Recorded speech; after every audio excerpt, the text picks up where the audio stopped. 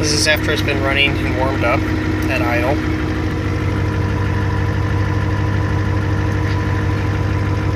New injection pump, injectors, water pump, and probably a bunch of other things I'm forgetting to mention.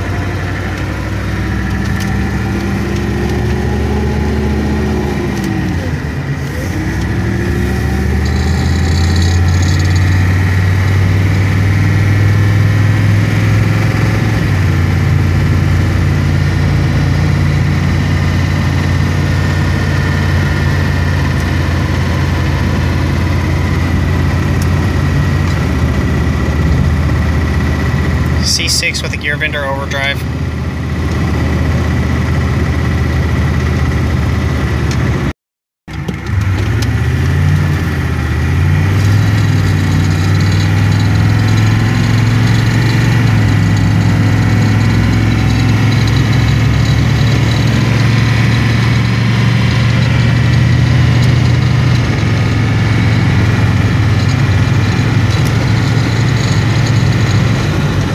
Bad for an 8,000 pound truck.